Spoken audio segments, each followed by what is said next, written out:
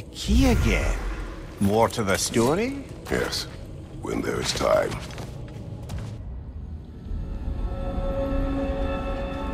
Kratos, about this boat captain. If you needed his key to save others, why does it seem to bother you? Your actions in this case seem justified.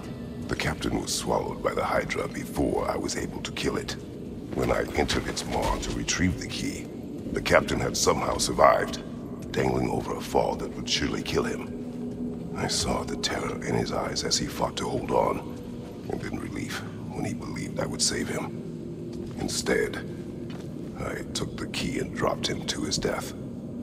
And it was all for nothing. The women were dead by the time I reached them.